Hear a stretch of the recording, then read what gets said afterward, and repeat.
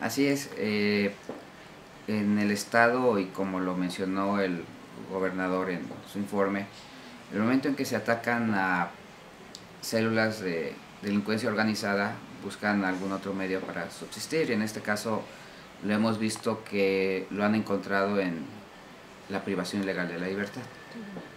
Eh, ¿qué, ¿Qué municipios es el que presenta más ustedes que llevan el expediente esto de las detenciones?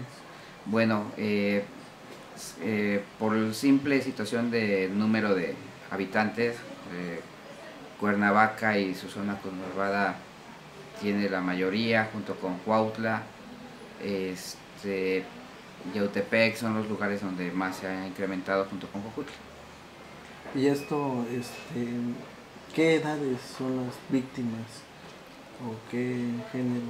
Eh, aquí la, lo que hemos visto que es el modus operandi es buscar, independientemente de edad, sino condición de que pueda dar la cantidad de dinero.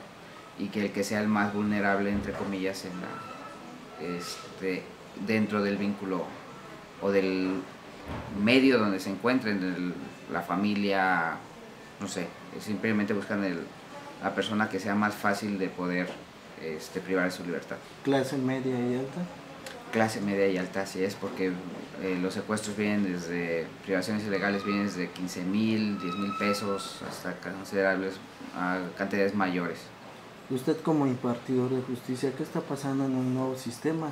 Ya que eh, son detenidos las personas por eh, secuestro, sin embargo, durante las audiencias eh, el MP no está otorgando eh, bien la, integrando lo que es la carpeta de investigación. ¿Qué es lo que está pasando? Puesto a que se han eh, liberado diferentes personas que igual no tienen nada que ver o que son responsables y son liberadas. Bueno, aquí hay que ver eh, las dos etapas importantes que tiene el Ministerio Público. Aquí lo que son los jueces, nuestros jueces tienen una situación muy interesante. A diferencia del anterior sistema, en el actual los jueces simplemente son conductores, no son ya, ya no participan pues en el proceso como se hacía de forma anterior.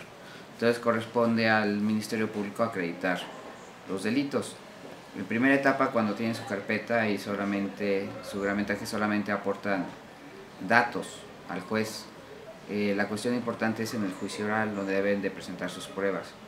Entonces, creo que seguimos caminando en la misma situación en una mejor investigación por parte de tanto el Ministerio Público como Policía Ministerial y algo que ha sido muy importante en este sistema, periciales. Los servicios periciales también deben de trabajar en este, en este ámbito.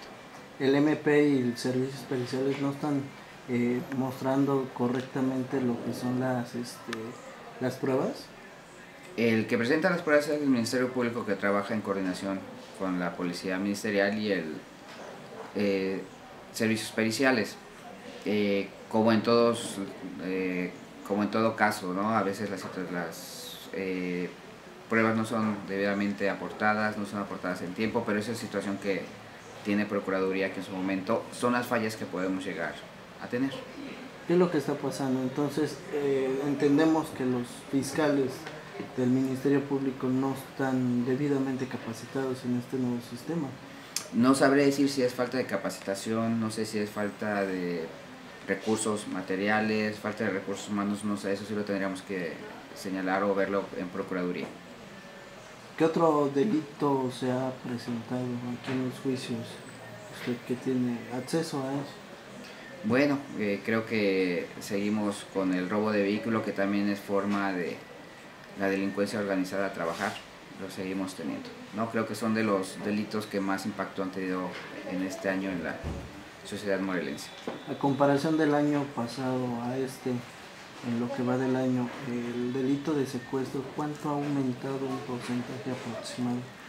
No, la verdad no te podría dar un porcentaje. ¿Por qué? Porque simplemente tengo yo eh, acceso a lo que es este, esta área aquí en Cuernavaca, este, Temisco, Tepoztlán, Huitzilac, y nos faltaría ver las estadísticas reales de lo que sería el circuito con cabecera en Cojutla y en Cuautla. Pero sí se ha duplicado, se puede decir. No puede decirte que se haya duplicado. No puede decirte ni que duplicó, triplicó o que disminuyó a, a comparación de la anterior. No te podría decirte, pero que sí hay un aumento, hay un aumento. Gracias.